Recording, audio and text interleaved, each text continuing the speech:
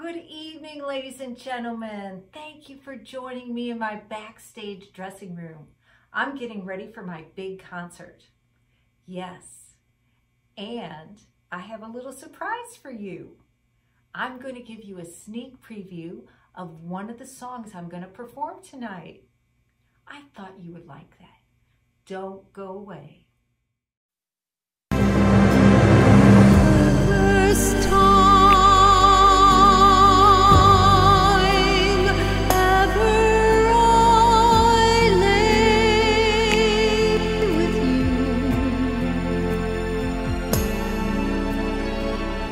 I felt our hearts.